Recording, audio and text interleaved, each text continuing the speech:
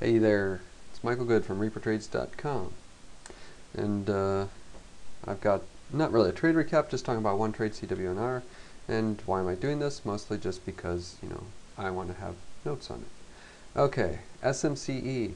This was Best Damn Penny Stock's previous pump, uh, and this had actually been pumped two times before this mid-December 2010 pump. Interesting thing, first day, big up day, didn't see anything about it no pump, no news, and uh, people are like, why, why is this going up? Uh, and uh, it actually turns out that it was Best Damn Penny Stocks had a new website. They have a bunch already, uh, and from that new website, they were having people pay them to subscribe to a premium version where they got the pump early. So those premium people and people that heard about it bought earlier. Then the next day, all the free pumpers or the people that follow the free pump newsletters get it, and then it drops like a rock. Uh, today with CWNR, trying something different. Uh, the premium people said uh, they said to them, "Okay, go to the special uh, URL on our website. You'll get the pump at 9:33 a.m. All the free people, all the different websites that that are free, 9:47 a.m. Actually, what happened is I got the email from the premium thing early before 9:30 a.m. And no, don't ask me which website it is. I'm not going to tell you. I don't want people paying uh, the uh, premium. I don't want people paying pumpers money. They get too much money as it is, and they all deserve to rot in hell. And I don't want them getting any benefits from what they're doing.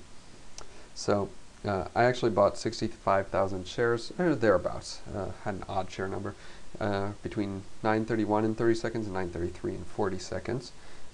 Uh, 0.115 uh, for all of those shares except for 5,000 which are at 0.12. I filled routing to Knight and then reroute to BMAS, BMAS, the market maker.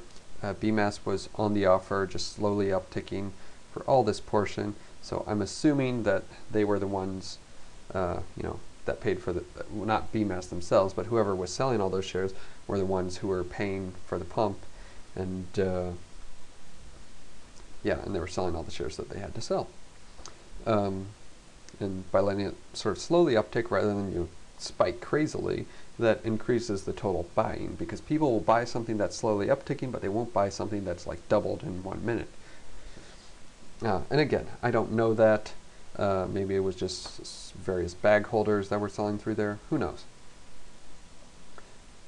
But anyway, I started selling at 17 cents I sold like 25,000 or so at 18 cents just a couple minutes before this it went sort of parabolic. And the reason was at 941 942 I started to see a couple of different of the free sites had put it on their websites. Uh, so I wanted to sell into that buying. And uh, but it was just a little too soon. I should have waited for a couple minutes. It takes most people who aren't you know professional day traders like myself a couple minutes to buy a stock. So if I'd waited a couple minutes and sold for you know an extra uh, four cents a share on you know say 10,000 or 20,000 shares, you know there's an extra eight, uh, 500, 800 dollars, and that would have been nice.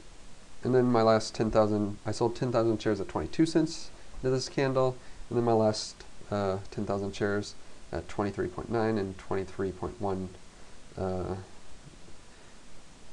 cents. And uh, see, you actually see that you know, from 947, uh, it actually dropped. Why? Because everyone, all the paid people, all the people who had paid to get on the premium list, and then all the free people who got it early, who were checking early, you know, they wanted to sell them to the idiots buying at 947. So, at the current moment, I'm short 2,000 shares uh, from 23 and a bit since, but uh, it's, you know, a little bullish here.